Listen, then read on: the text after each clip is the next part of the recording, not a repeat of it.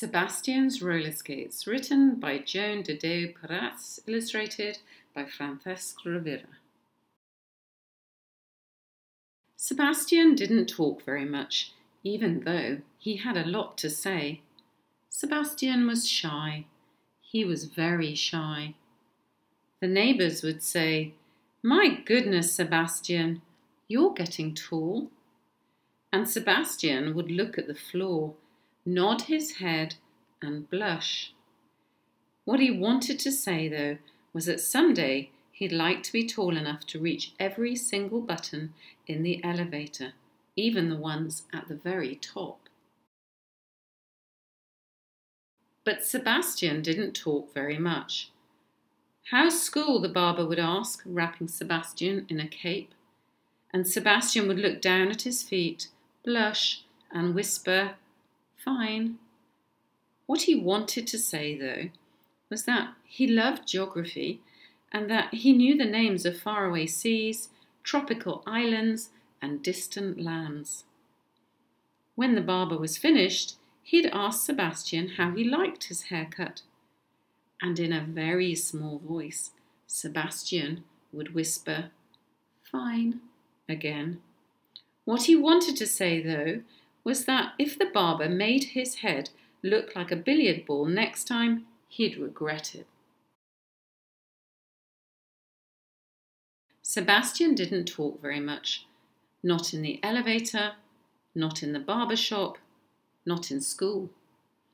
When the teacher would ask him to name the capital of Iceland, or the capital of Mongolia, or the capital of Burundi, Sebastian would just look down at his desk because, even though he knew the answers, he couldn't seem to say anything.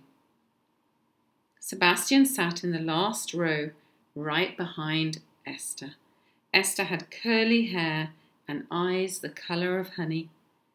Sebastian liked Esther, but he'd never spoken to her.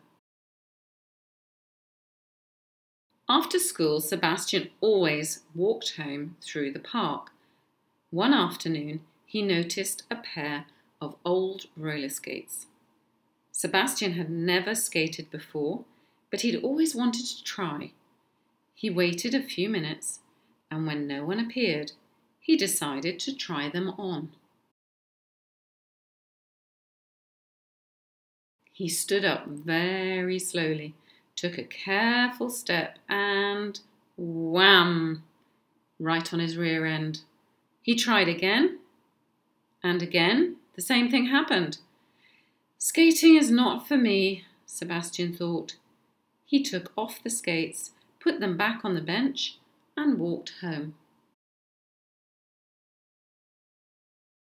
The next day, when Sebastian walked through the park, he saw that the skates were still there, right where he had left them. Sebastian scratched his nose. He looked right, he looked left. Nobody was around. This time, he was able to stand up and stay up, and when he tried to take a step, he fell. At least he'd stood up. Maybe he should take the skates home. After that, Sebastian went to the park every day after school to practice. He went very slowly and carefully taking tiny steps until he could grab onto something a lamppost, a tree, a railing. Once he even tried to grab onto someone's moustache. Sebastian skated every day, and every day he got a little bit better. But after a week, he still couldn't go very far or very fast. Then he saw some other skaters gliding by, as if it were the easiest thing in the world. He sat down on the bench, sad and a tiny bit heartbroken. Then he went home. He was back the next afternoon, though. He put the skates on, and then, just like always, he started to skate very slowly. First one foot, then the other. He was concentrating so hard he didn't hear the shouting. My dog! Somebody, please! Help me catch my dog! Suddenly, a big dog was licking his face. Sebastian had to grab him to keep from falling down. Just then, the dog started to run, and somehow Sebastian managed to hold on to the leash. What happened next is something Sebastian could never have imagined. He skated as if he were a water skier, gliding gracefully behind the big dog. They crossed the bridge over the pond. They crossed the path that led to the grove. They crossed the playground with the swings. They even jumped over a ditch where workers were repairing a pipe. Sebastian kept his balance the whole time until finally the dog stopped running. The dog's owner came for her dog, but Sebastian just stood there. He'd skated through practically the whole park. He could hardly believe it. When he got back to his apartment building, a neighbour was waiting for the elevator. How are things, Sebastian? the neighbour asked. At first, Sebastian didn't say anything. He started to shrug like he usually did, but then he stopped.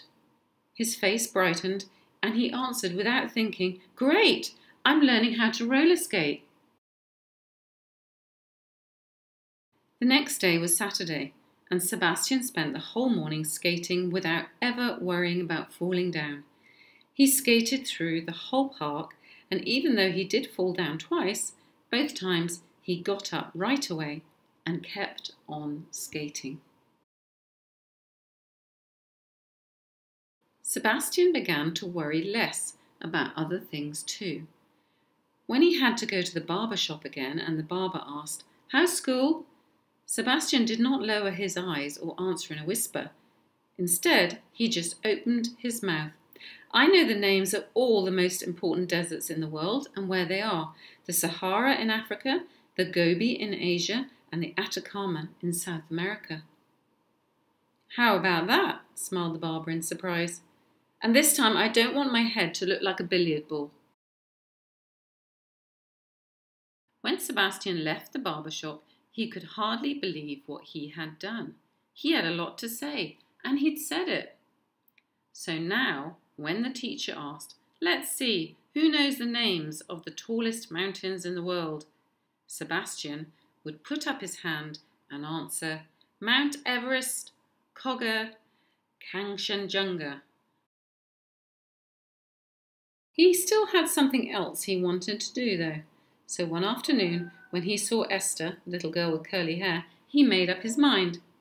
He didn't fall very much any more when he skated, and sometimes, when he had a lot to say, he said it. So he walked over to Esther and asked with a smile, Would you like to go skating with me? And guess what? Esther was a little bit shy, but she did whisper, Yes.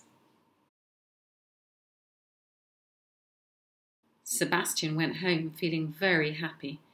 He broke his piggy bank and ran to the store to buy himself a new pair of skates.